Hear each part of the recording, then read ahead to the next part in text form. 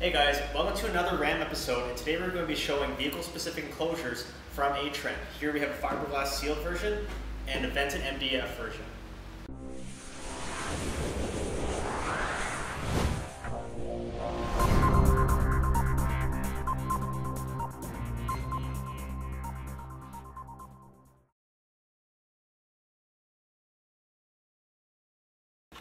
So let's start with the sealed enclosure. This is also known as Atrend's Phantom Fit fiberglass enclosure.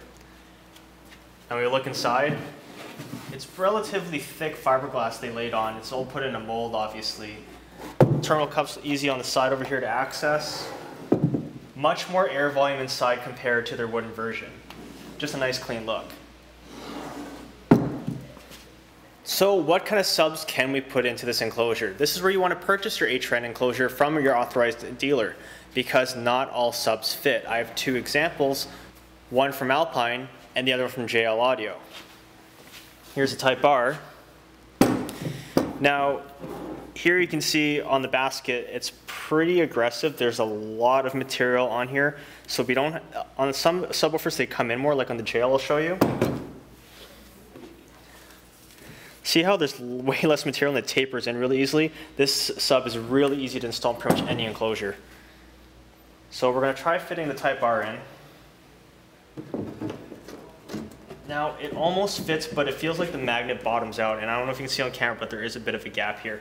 You can compensate by building a ring, so you can put it on the, you can build this on the router and everything, and have another spacer ring come up, and it will fit. But there is a bottom portion here for the sub to vent, and I would just say that this type of sub is just too large for this enclosure. Now, looking at the W3, does not bottom out, fits in nice and snug. A woofer like this, which requires not nearly as much power as a Type R and not nearly as much volume, is a better way to go for this box. Now, why would you want to go with sealed? There's a few reasons. For one, looking at this enclosure right away, we can see it's only half the space. So for you Dodge Ram owners that like to use the left side for keeping miscellaneous items like gloves, tie-down straps, what say you, this is the better way to go because it only takes up half the space. Also, when it comes to prefab, sealed is a better way to hit lots of different frequencies and you hit a more consistent quality when it comes to this, uh, as, as opposed to a vented enclosure where you have to really pick the right sub since the enclosure is already built. So that would be the other side things. Um, Price-wise, these two are going to be pretty similar because this one's fiberglass, the other one's MDF, but the other one's vented. So you're not going to really save a lot of money going with this particular version, but we're going to make up for it because I prefer this one over the wood one because lots more room inside, more volume. You're going to get a lot better sound quality from it. Okay, now let's look at their vented series enclosure. This thing is huge. It's the same size as their twin version, but it's vented, which I think is a much better design because I always found the sealed version of MDF it didn't hit that low because we were really constricted on air volume. So now we have a lot more volume because we go all the way across. There's a vent over back here. And what I also like is they've doubled up the wood. So most of it's half inch MDF. Over here looks like they got three quarter inch and then they have another half inch piece on top. This is gonna really reduce your resonance, upping your sound quality out of this enclosure. As far as the installation goes, will have to remove the terminal cup back here because it's very hard to access it from over here. So solder on your wires, bring it over, and then install your sub. So what fits in this enclosure? Well, let's try the Type R again. I, I would say this enclosure, like this type of woofer is just way too big for this type of enclosure, but we're just trying it because it's a 10 inch woofer. That's as far as it goes with any modification. So if you're buying online, don't buy the Type R. Let's try the JLW3. You see again, looking at the basket, tapers off, it's very compact. Fits much better application. Like I said, doesn't require a lot of power to run, doesn't need a lot of volume, and it's just a very good sounding woofer. So I'm going to recommend the W3 in this application. For the two enclosures I showed you, they're both single type of enclosures. This part you have to keep in mind.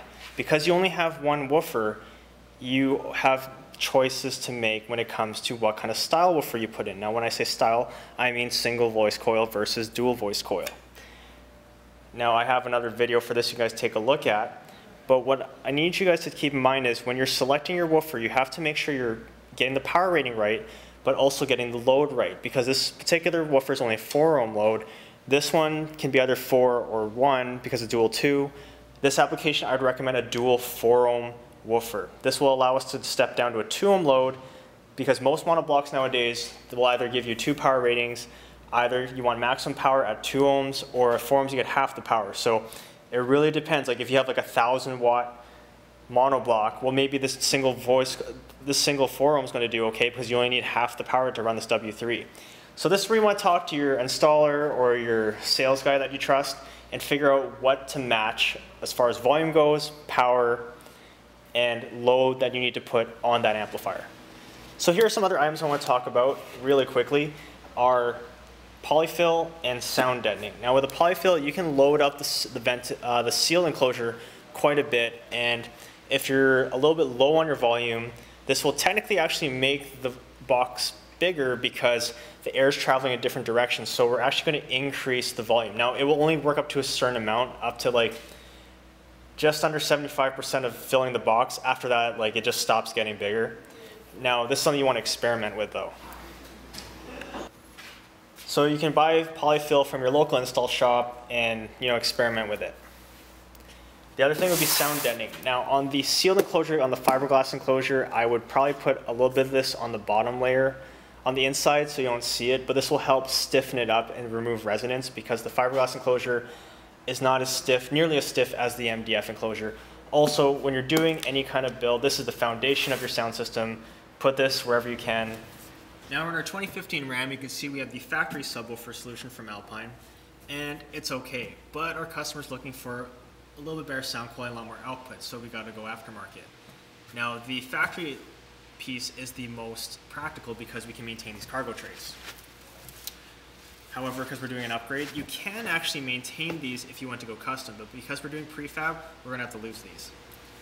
Got the Phantom fit in now. Now you see we had to move the trays because the enclosure comes way back under here, but it only takes up the 70 split so we can maintain our cargo tray over here. You can see I got a bunch of junk over here, but that's cool because we use that on a regular basis.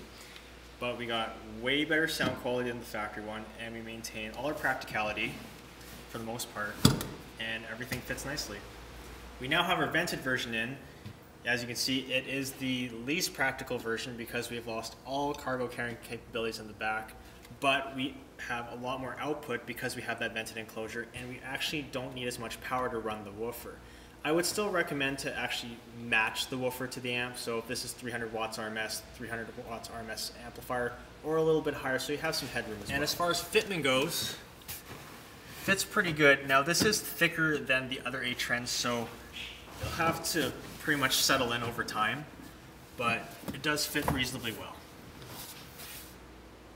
So hopefully you guys learned some new things for your Dodge Ram. Make sure to check out atrendusa.com to see other products brought to you from them. Also, make sure to check out my website at www.gofasthavefun.ca and all my social media at AnthonyJ350.